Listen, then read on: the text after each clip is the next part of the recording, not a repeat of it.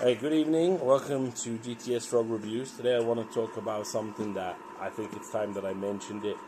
I would like to get Xiaomi out there to the world uh, because I think they're really good, excellent devices. They make high quality products for a really, really good price.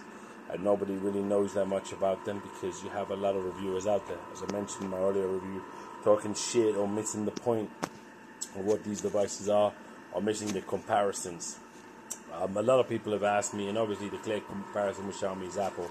And a lot of people have asked me, especially recently, why you don't like Apple. I'll be honest that I have had used the MacBook Air in the past, and I think it's an excellent device. I think they work really well. I think they have excellent, uh, excellent things and excellent equipment. But I think for the price, they're absolutely absurd. So using Mexico because that's where I'm based, and using the Mexican prices for example, a top top level guy here, you know, manager of a club, a top level club, maybe making forty to fifty thousand pesos a, year, a month.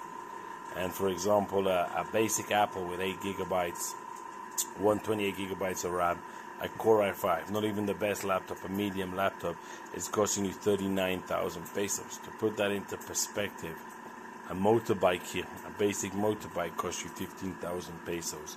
So you can buy two motorbikes almost for less than it cost me for a MacBook.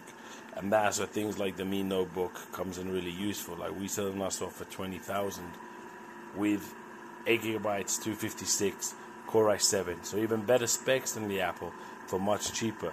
And that's why I really want to get out this this Xiaomi products because I think they're really, really, really good for the price. I mean, the apples are excellent, but not for the price they're asking. That's absolutely ridiculous.